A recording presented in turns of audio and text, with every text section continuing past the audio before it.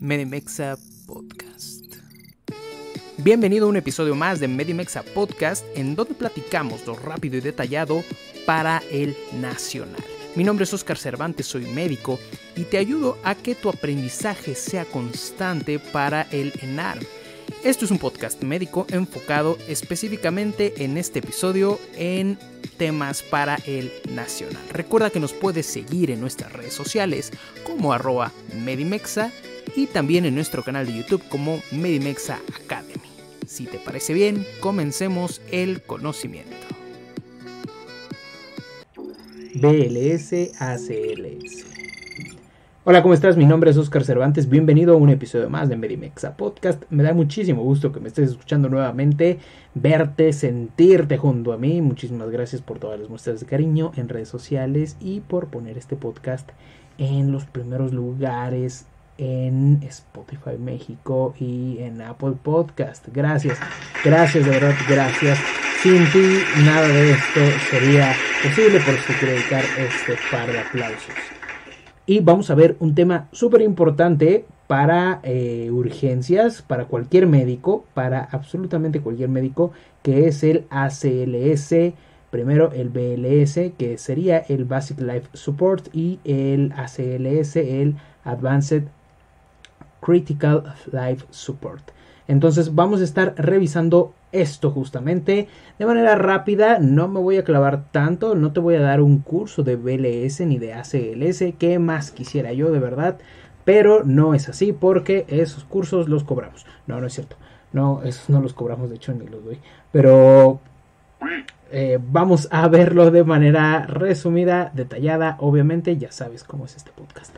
Entonces, Vamos a empezar con el BLS. El BLS, el BLS.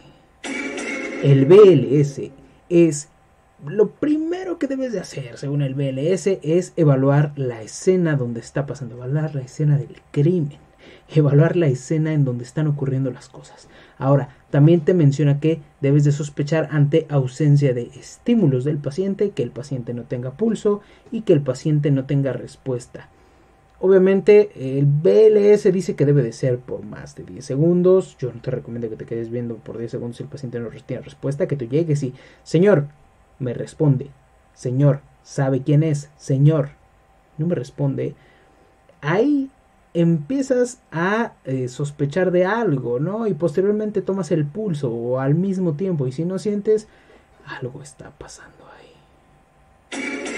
Así es. Entonces eh, tenemos que activar la eh, siguiente fase del protocolo, ¿no? Entonces debes de activar el que, el, dímelo, dímelo, el, el, el sistema de emergencias. Debes de activar el sistema de emergencias e iniciar el RCP, iniciando la secuencia de tal manera. Recuerda que en este caso, en esta cuestión, no debemos de iniciar una secuencia eh, ABC, porque lo más importante es generar la perfusión eh, o mantener la perfusión rápida de todos los órganos por medio de el apoyo mecánico hacia el tórax realizando el RCP, las compresiones. Entonces debes de iniciar esta secuencia por medio del método o del paso CAB en donde se pone de primera instancia la circulación, circulation. Si ya escuchaste el podcast anterior, ya sabemos de qué trata circulation. Entonces, comenzando con compresiones torácicas.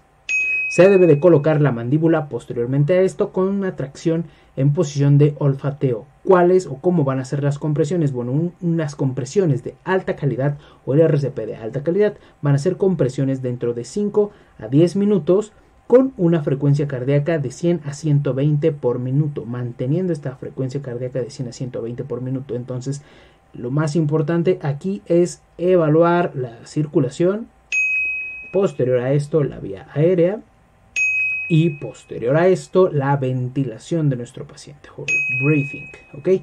La profundidad de estas eh, compresiones debe de ser de 5 a 6 centímetros con una reexpansión torácica completa cuántas compresiones vamos a dar. Si no sabes dar compresiones, eh, de verdad creo que sea un tanto difícil que puedas aprenderlo por medio de un podcast. ¿ok? Las manos se entrelazan tocando dorso de la palma no, olvídalo. Tocando la palma de nuestra mano con nuestro dorso, se entrelazan, se abrazan y a nivel de eh, las tetillas aproximadamente en el esternón se ejerce presión. Si nunca lo has hecho, te pido por favor que esto no lo tomes como algo definitivo, sino solo como un repaso nada más. ¿Cuántas compresiones debemos de dar? 30 compresiones por dos ventilaciones. 30 compresiones por dos ventilaciones. Eso es súper importante. Con un recambio cada 5 ciclos. ¿Por qué? Porque es muy fatigante realizarlo. En caso que el paciente tenga un tubo orotraqueal, se realiza una ventilación cada 6 eh, segundos con compresiones continuas. En este caso, las compresiones continuas son eh, de dos minutos y posterior a esto, a los dos minutos cambia la persona que está realizando las compresiones. Ahora, en caso de ahogamiento, esto es súper, súper importante. En caso de ahogamiento por inmersión u obstrucción de la vía aérea por algún cuerpo extraño, se indica que eh, el modelo, que este modelo se modifique, que sea ABC, dándole prioridad a la vía aérea, a airway y posteriormente a breathing y posteriormente a circulation. ¿ok? Eso es súper importante y es lo que se considera eh, de manera fundamental en caso que el paciente presente ahogamiento por inmersión o obstrucción de la vía aérea. ¿ok? Hasta ahí esperamos, espero de verdad que vayamos bien, no nos hayamos perdido en ningún momento y vamos a hablar un poquito de algunas cuestiones en cuanto al RCP en el embarazo. En esta cuestión es importante mencionar que estas guías dicen que se deben de realizar un desplazamiento manual uterino a la izquierda. ¿Esto por qué? Para evitar así la compresión aorto-cava. Esto es súper importante porque sabemos ahí cómo están eh, pues eh, cambiadas, no te quiero decir alteradas porque no están alteradas, pero sabemos que la fisiología cambia completamente en una mujer embarazada, ¿ok?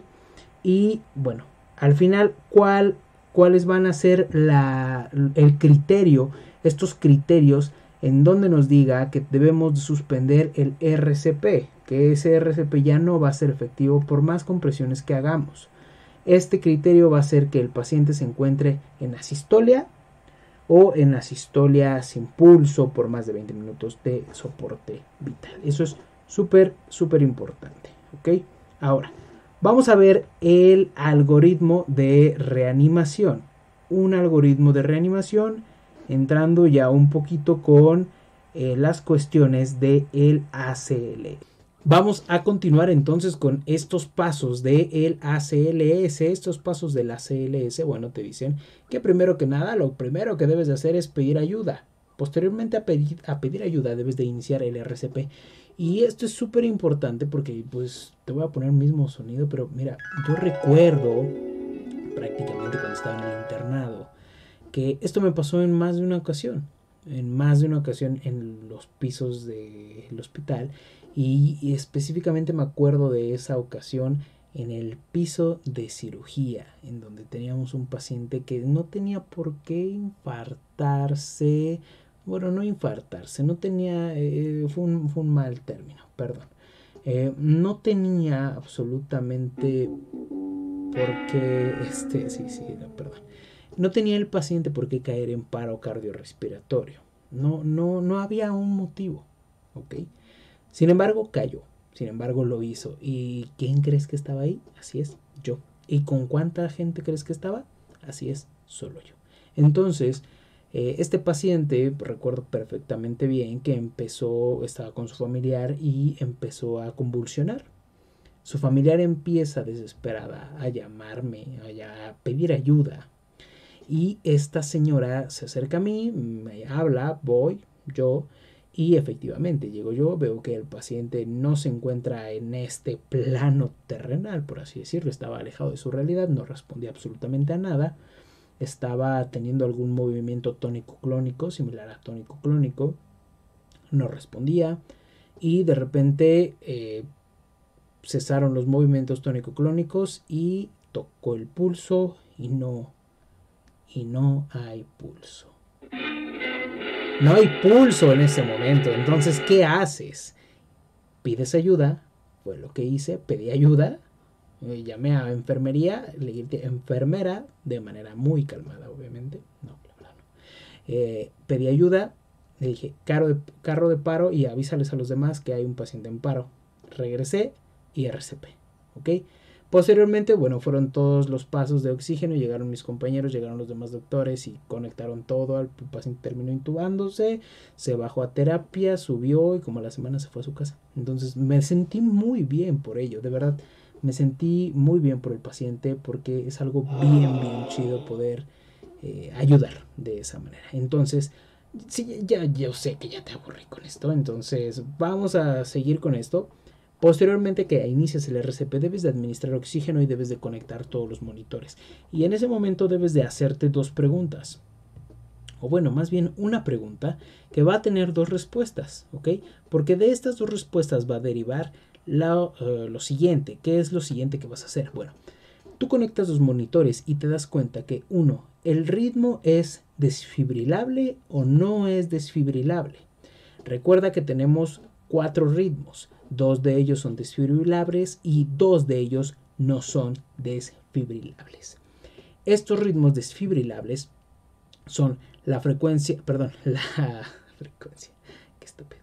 Eh, estos ritmos desfibrilables son la taquicardia ventricular sin pulso y la fibrilación, ahora sí lo digo bien, y la fibrilación y la fibrilación ventricular obviamente sin pulso. Entonces, fibrilación ventricular y eh, taquicardia ventricular sin pulso son los ritmos desfibrilables.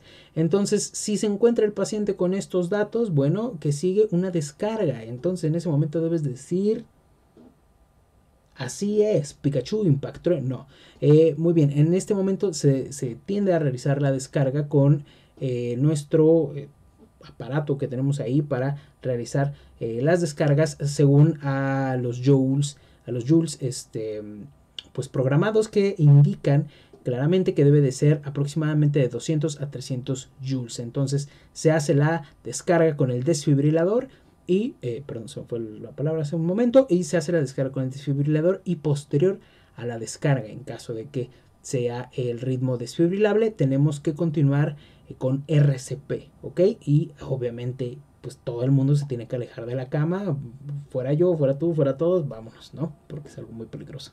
Entonces, eh, posterior a eso, debe de continuar dos minutos de RCP con acceso venoso, ¿ok? Y comprobar si tenemos pulso y de ver también cómo tenemos el pulso. En caso de que no, bueno, nuevamente una descarga en caso de que el ritmo siga siendo desfibrilable y posterior a esto sigue el algoritmo en donde nos dice que damos otros dos minutos de RCP. Vamos a estar viendo también si ya tenemos pulso. No, ok, dos minutos de RCP. Tenemos pulso. No, ok, administración de adrenalina cada 3 a 5 minutos. Ok, posterior a esto, ¿qué? ¿Tenemos pulso? No, no tenemos pulso. Ok, descargamos por una tercera vez. No tenemos pulso y finalmente dos minutos de RCP más. Tenemos pulso. Esperemos que para ahí ya tengamos pulso, porque si no ya tendríamos que estar aplicando nuestros criterios, este, pues de que el paciente desafortunadamente, pues no va a salir de eso.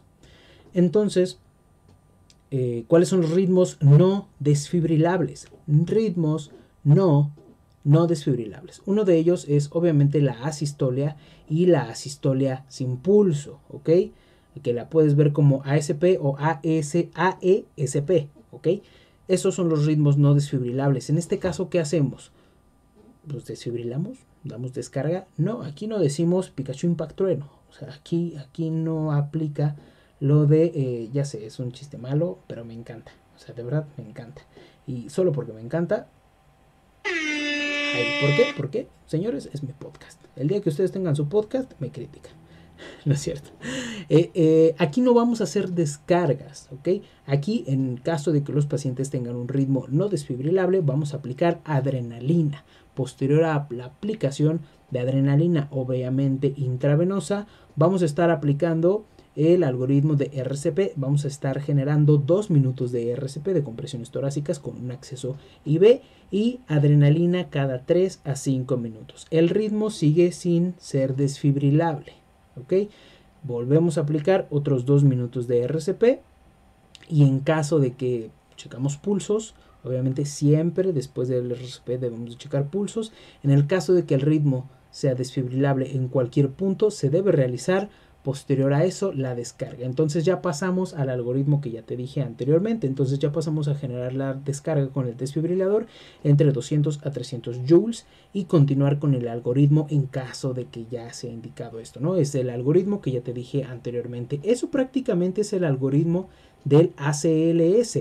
Pero también te quiero platicar que tenemos algunas causas reversibles de paro cardiorrespiratorio. ¿Cuáles son estas causas reversibles de, paro cardiorrespiratorio? Bueno, estas son la hipovolemia, ¿ok? También tenemos hipoxia, hipotermia, hipo o hipercalemia. Si te das cuenta, estas son las H's, cuatro H's, hipovolemia, hipoxia, hipotermia o hipo o hipercalemia. Y también tenemos cuatro T's. No, no es esa 4T, no es esa 4T, ni me la menciones, por favor. Es otra 4T. Eh, tenemos muchas 4Ts en medicina. Es esto, es también las 4Ts de los sangrados, eh, pero no me voy a meter en esto. Eh, estas 4Ts que van a ser las causas reversibles también puede ser taponamiento cardíaco, toxinas, que el paciente se encuentre bajo intoxicación, trombosis pulmonar, y trombosis coronaria. ¿Ok? Y mira, ya por último te voy a dejar aquí una perlita hermosa que sería la intoxicación por opiáceos. En caso de que el paciente, de que nuestro paciente se encuentre intoxicado por opiáceos, debemos de identificar el estado de respuesta. ¿Esto por medio de qué? Por medio del Glasgow. Muy bien. Muy bien, por medio del Glasgow. Ya estás hecho, mi hermano. Eh, en caso que ya no esté ventilando el paciente, pues también tenemos que ver eh, esta cuestión y debemos de estar analizando una vía aérea definitiva, que sería un tubo orotraqueal, obviamente, iniciar el RCP, posterior a esto administrar el antídoto de los opiáceos, que sería la naloxona, y utilizar el DEA en caso de tenerlo a la mano, que sería este desfibrilador hermoso que debería estar en cualquier lado de eh, nuestra ciudad. Sin embargo, es un poco triste, se los roban. Pero bueno, en caso de tener el DEA, debemos de utilizarlo. Entonces, esto es lo que te quería contar del de, algoritmo ACLS. Espero que te haya quedado claro, espero que te hayas divertido escuchándolo y me divertí haciéndolo. No te tomes personal todo lo que dije, simplemente es broma. Y me divierto haciendo esto. Entonces, espero que te haya quedado claro, que te haya gustado, que te haya servido. Recuerda seguirnos en nuestras redes sociales como arroba Medimexa. Mi nombre es Oscar Cervantes. Nos vemos para la próxima. Cuídate mucho, por favor. Por favor, cuídate mucho. No te descuides. Sigue usando cubrebocas. Aunque ya tengas tu segunda dosis. Te quiero, quiero que nos sigas escuchando por muchos años más. Cuídate mucho. Hasta luego. Bye.